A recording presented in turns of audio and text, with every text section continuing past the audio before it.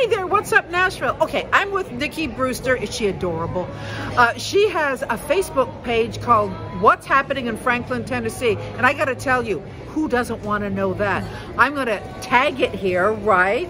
And you can join it, just ask you a few questions and tell us about it. Yeah, so really it's event focused. So we want you to put your events in there. On Saturdays, we allow all businesses to promote themselves as well. We're adding a hiring board, meet your local owner, but really events are our focus. We want you guys to get out and about, promote the businesses here, and just have fun in Franklin, Tennessee.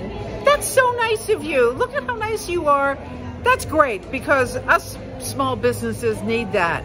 That's yep. great. Okay, Nicki, I know you from many things, from lots of networking things, but are you from these parts? I am not from these parts. I am actually from Chicago. Then I did California. I know everyone here is like, oh my gosh, but I have been here for over four years. The person who co-manages it has a sweet little house in Franklin and she is just ready to rock and roll on Franklin, Tennessee.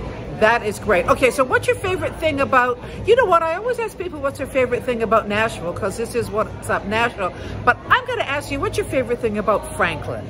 I love that as everyone comes in here, Franklin still has that family feel. It you does. still feel like you're going into the South. I can go and I can talk to my mother's school teacher and my father's friend who he rode bikes with, right? So it's just still got that feel as we grow, grow, grow and get new people and faces.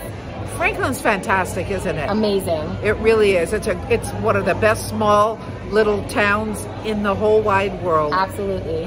Okay. Uh, it's always great to see you, and uh, I'm going to put the link to that Facebook page. And What's Up Nashville? We're out now. Bye.